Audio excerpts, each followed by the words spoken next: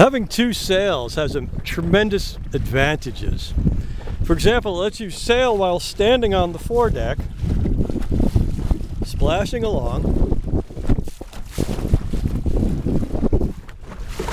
holding on to the mast,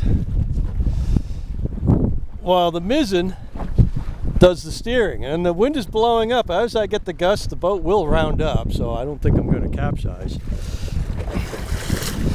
But it helps if I keep my weight out here. Now that's an unusual experience sailing like this, let me tell you. Oh, that's a lot of heel. I'm not even in the boat.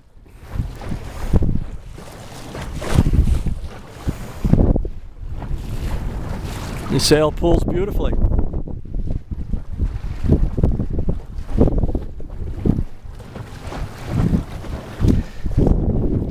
On the mast.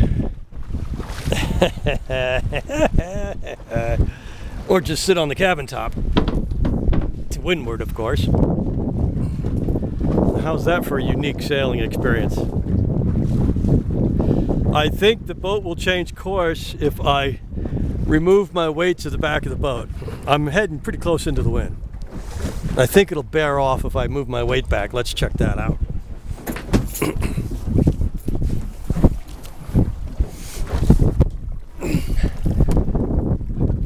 Okay, so now, now I'm standing on the aft deck. Oh look, I dropped the prop a little bit on this tack.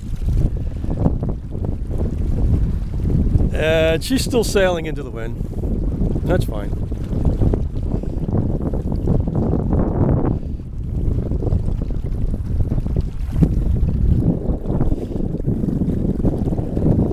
That's pretty amazing.